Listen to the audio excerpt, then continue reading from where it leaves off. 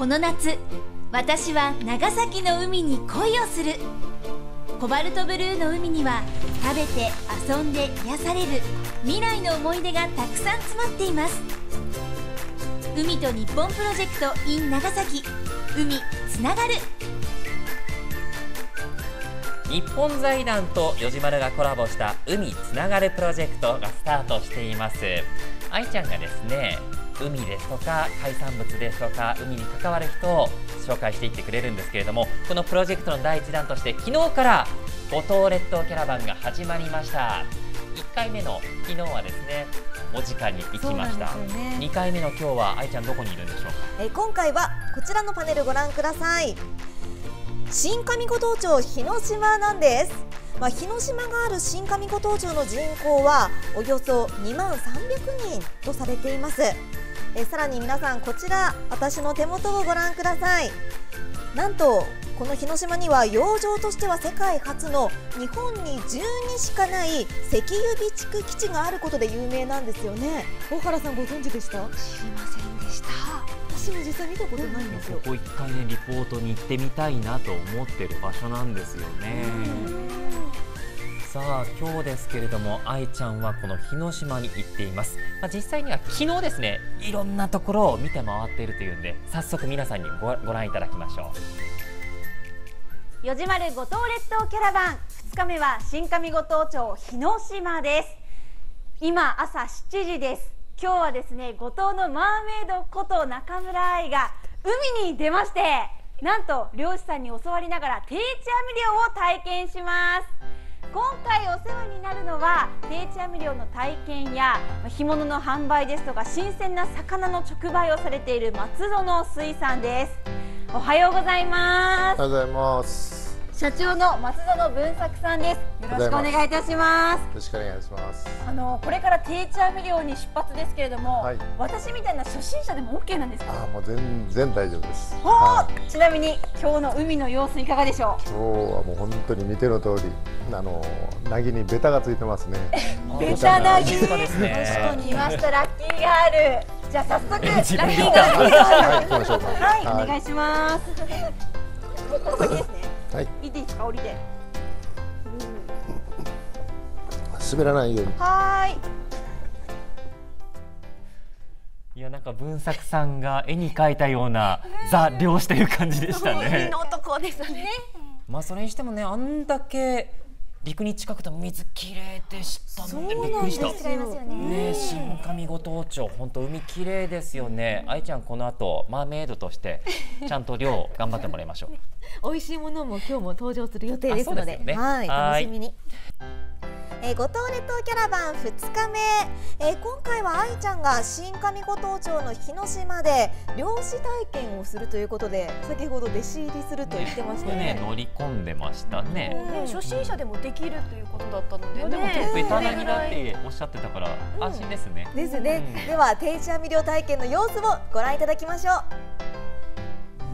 沖の方にやってきました。これから定置網漁を体験させていただきます松園さん、はい、そもそも定置網漁ってどういう漁法定置網ってまああの字のごとくさあの決まった場所に網を仕掛けておいて毎日それをこう魚が入ってるだろうことを予想してで毎日操業に来るっていうね。決まった場所もう他の漁と違ってあっちに魚がいるやろうって取りに行ったりじゃなくてもう決まった場所で。待ってるだけです。ここでだいたい水深ってどれぐらいなんですか？水深ここでね50メートルあります。50メートルぐらい。かなり網も大きいですよね。そうですね。これどれぐらいあるんですか網は？網はその許可許可なんですよ。県の許可で水深であの許可が決まってるんですよね。で大型定置っていう部類で県の許可です何メートルぐらいありますか？はそうですね300、300ぐらいありますかね。300、300ぐらい、今ね、ちょうどその網の中に私たち船が入ってる状態です。ですじゃあ、これからどんどん巻き上げていくわけですね。巻き上げて、この今こ上げてるところを追い込んでいくんですね。ここに魚がいるだろうことを予想して、向こうに追い込んでいって、って最後取り上げるということですもう昔は本当にもうこういう機会なかったからですね。もう本当にこの船にみんいっぱい人並んでもう本当に人力で手作業で人の力で引き上げてたんですか？そうでもねこれだけ300、300もあるような網って重いですよね。そうですね。海に使ってればねで今はもうこうやって機械で上げるからですね。でこれをはい引っ張ってくださはーい。じゃあもうようやくお手伝い。一応ほら網2枚になってますのではい上だけ、上だけを引っ張る、うん上だけ。になってるんですね。多分この間あ重そう。あうわ愛ちゃん真剣です。おー。あーすごいすごいですね。そう。ね本当にもう。何人がかりですか？昔は20人とかそういう、うん、そういう人でやってましたね。うわーなかなか見えないですね。すでねすね。この時代に感謝という感じです。すごい橋の方までも引き寄せてね来ましたけど。おおいっぱい魚いますよ。もうちょっとあげる。しかもはい。うちょっとあげる大きい魚もいっぱい入ってる。オッケー松野さんこの後はもう一気に。あとはあのー魚をこう選別しながらね。選別しながら揚げていくんですね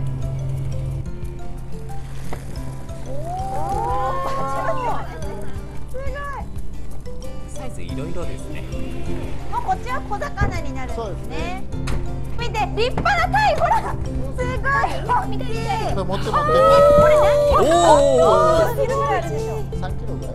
3キロぐらい？えはい。はい。下を下を下をこうして。下をこううんこうこうしてもはい。おお見て見て大きい立派はい。どうですか松尾さんこの鯛はああ、さすがマーメイドやね。あまりさすがおおここ入れてきますね。すごいおおーおーおーおーお後ろ危ないよ、後ろ危ないよ。すくうのも大変ですねこれはこの大きさは食えばいいんですね食えるかな？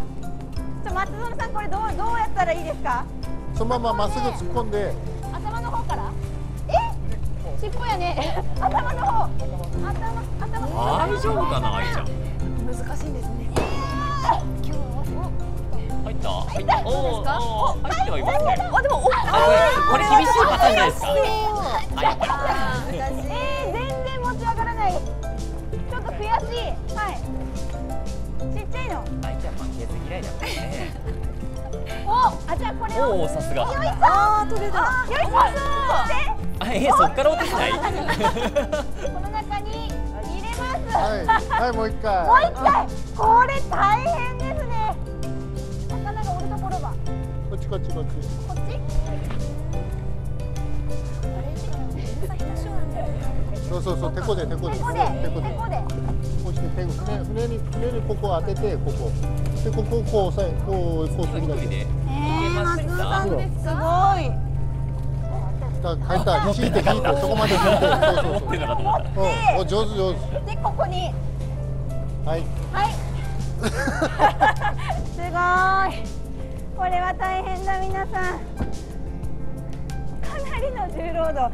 いやさすが皆さんね。体つき違いますもんね漁師の皆さん。いやー松園さん。いろんな魚が取れましたね。そうね。さすがにやっぱりマーメイドの力は。さすが自分で言うだけ。ちょっとお手伝いできましたああかもうよかったですね。はちょっとね魚見てるとお腹が空いてきました。い いやもう頑張ったけんがちょっとご馳走しましょうかね。ご馳走していただけますか？好き好きなやつを。えー、やったー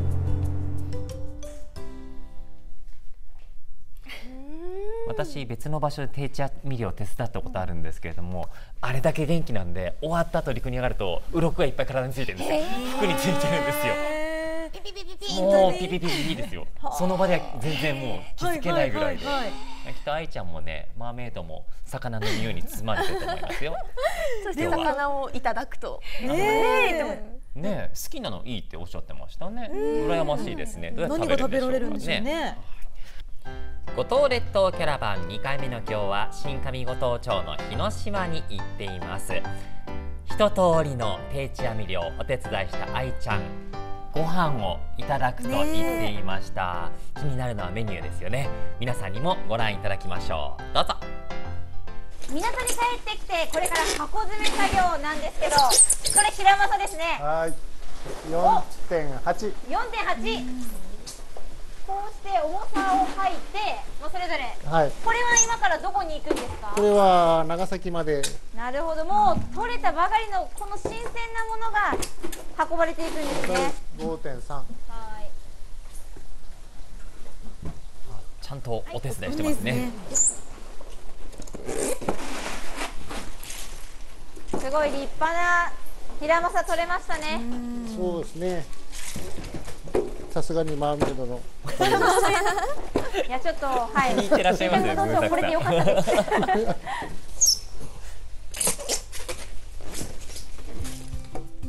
待ちに待った。おーみたいです。すごいこれぞ漁師飯ですかね。そうですね。豪も華版漁師飯ですね。うだけですけどいえいえいうたっぷり腹いっぱい魚を食べてくださいだってこれさっき水揚げされたものですよね。今これ何種類ぐらいありますか？えーとヒラマサ、ん。イサキ、アジ、水イカですね。お4種類も。はい。やーごちそう。ちょっともう早速はいどうぞ食べていいですか食べてください。えどれから食べましょあのー、でどうぞお好きなやつから。うもう目の前のじゃあヒラマサヒラマサ。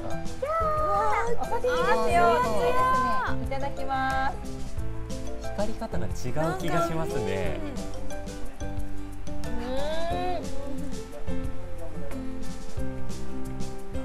おいしい。噛み切れない。噛み切れないぐらいもう弾力もあります弾しコリコリ加減がいいですね。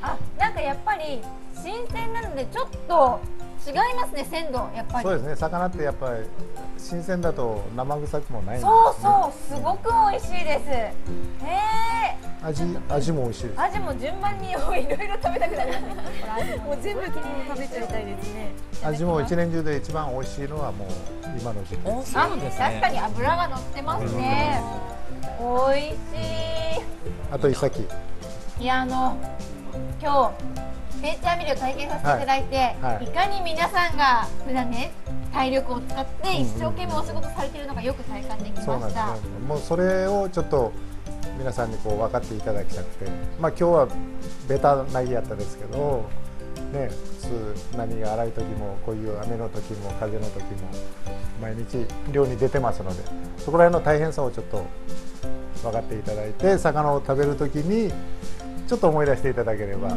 ていうことで体験をねあのしてます。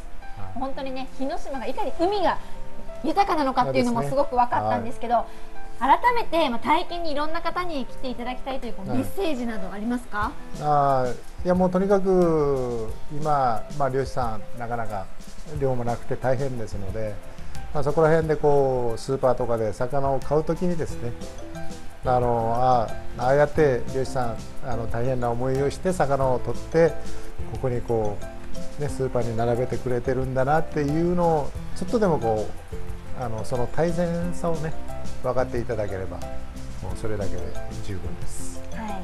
まあ、そしてここ増田の水産の魅力はですね先ほどちょっと時間があったのでマグロの餌やり体験をさせていただいたんですよ。